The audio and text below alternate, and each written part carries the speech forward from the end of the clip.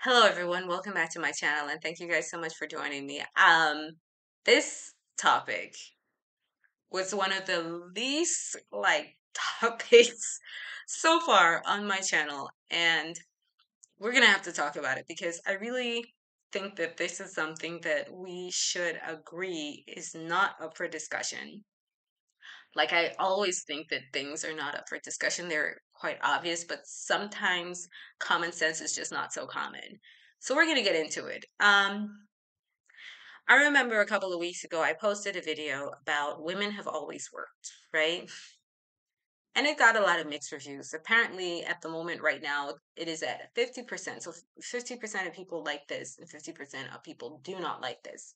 And I know that in the video, I promised to put some literature about um, The Hidden Face of Eve and Women Have Always Worked. There's an actual book called Women Have Always Worked. And then there is another set of um, literature that I guess is not quite common in the media realm that proves that the whole idea of feminism is a ridiculous one.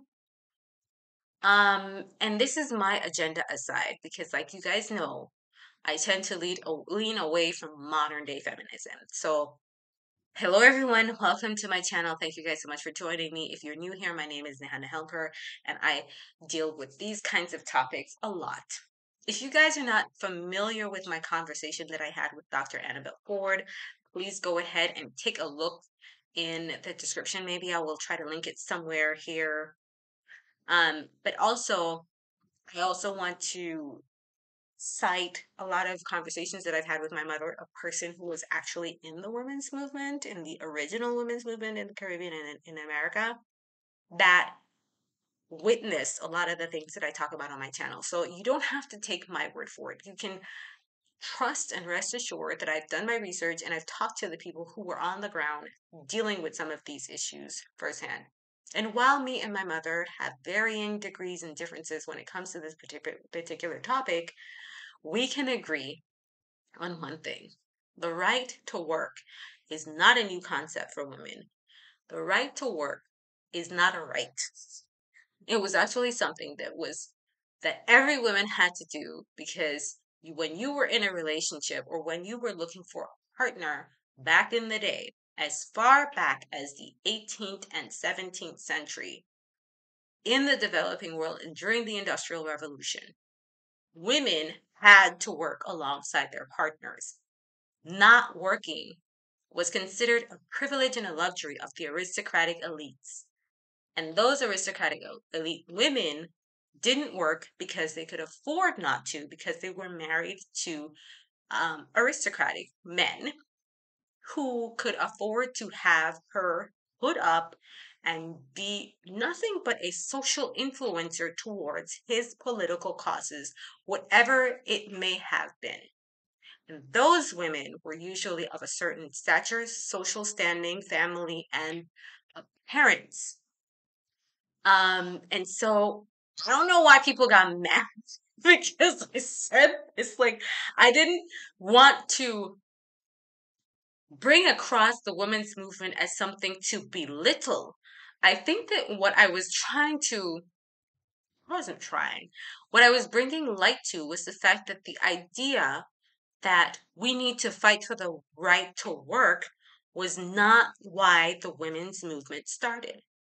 The women's movement started because women wanted the right to um, be to have more autonomy in making decisions about the households that they ran.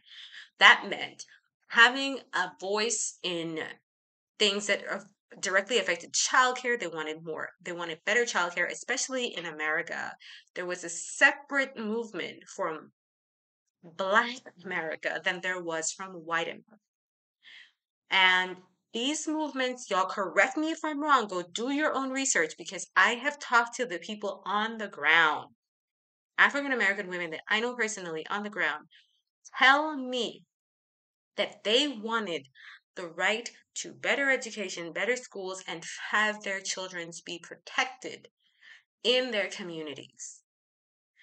While white women wanted to have more autonomy in and outside of the relationships that they were having with their men. Things like being able to open a separate bank account without their husband's permission, own property without their husband's permission, and not have to be answering to her husband all the time. Nope. Excuse me, nobody was trying to make feminism what it is today.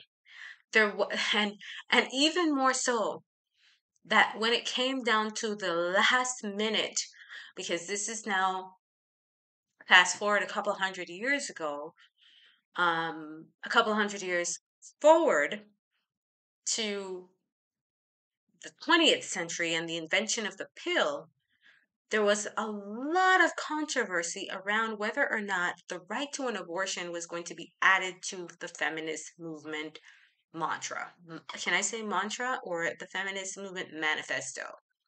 That was the last thing. Now, I only bring that up because this is now what we lead with. And I'm always super surprised. Now, I'm not going to get into pro choice and pro life, but I'm always super surprised, just as a side note, how much Black women lead with this argument that was deliberately added by someone who was advocating genocide. So eugenic, eugenics, eugenics. Hang on a second. Let me get the word right because I don't want nobody. yes, it is eugenics. Um, this eugenics. Um, so eugenics basically is just encouraging certain people to procreate and discouraging others to procreate, right? And that's basically what Margaret Sanger promoted. And she was an advocate. Like people called her an advocate and an activist.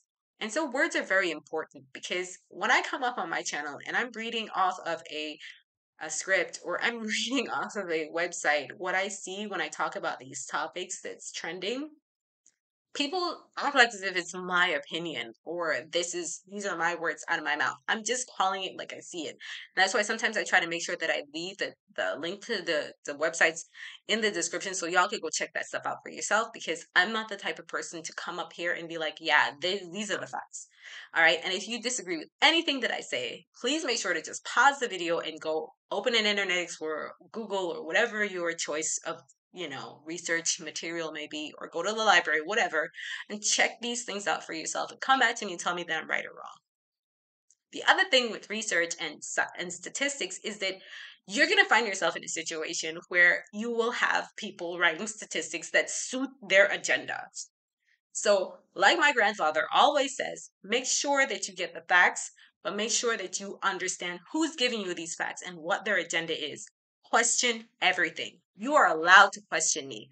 As a matter of fact, one of my one of my subscribers came and said that I was way off on two topics that I had brought up on my channel. And when I asked, you know, enlighten me. I wasn't being sarcastic because I know that I'm not freaking Nostradamus. I don't know everything. And I do want to be enlightened as to what other people think about this topic. It's here so that people can have an understanding and a dialogue and safe place. I'm not here to judge anybody and I'm not attached to any of these any of these things and ways of thinking. Even the things that I advocate and I feel strongly about, not attached to. Because I think that people need to be able to disagree so that we can understand why we disagree, where people are coming from, and to be able to understand the world we live in through the through the eyes and minds of the people around us. And so please hmm. disagree with me if you may, but please tell me why and where your disagreement comes from. Don't be lazy and just disagree, but make sure that you understand what it is you're disagreeing with and why, and be able to defend your topic, be able to defend your thesis, because I'm one of those people that is here to make sure that I do my due diligence and defend myself if I need to. But like I said, I'm not entirely attached to anything that I think, feel, or believe so much that I will argue with strangers online. So, having said that, I would like to make sure that I go back to my point in reinforcing the statement that I believe, because it is obvious as the sky is blue, that women have always worked. Whether or not that work was paid or slavery or in support of the man or in support of a war, the fact of the matter is, is that for the most of us, middle, lower income women have always had the the unfortunate reality of having to work And I think that we have moved into the position in the place of feeling like as if that is some grandeur gift from society to be able to work outside of our homes. But the only reason that it's been so pushed and promoted is because companies and consumers consumerism, sorry, actually benefit immensely by having women earn not just money from her husband, but their own money. Because at the end of the day, a woman will spend way more than a man who has a job. A woman will take out more loans. She will rack up more credit. She gonna put the, that bag on the way away. Yeah, that weave, those bread bottom heels, it's all gonna be bought, baby. Men don't care about this stuff. Men are the worst consumers. And so it is of great interest and of great concern to those people who are in power and position to make sure that women stay in the workforce. However, we're now seeing a great shift, like I talked about in my other video with the whole dick situation. I mean, dink situation, dual income, no kids is that we will no longer be guaranteed another workforce within the next generations to come because more and more people are choosing not to have children so that they can consume more shit. Now, I know that there are other reasons as to why people are not having children. The economy is very uncertain and rocky. People are finding themselves in more debt and not be able to be very financially sound, and people just want to be able to enjoy their lives a lot more.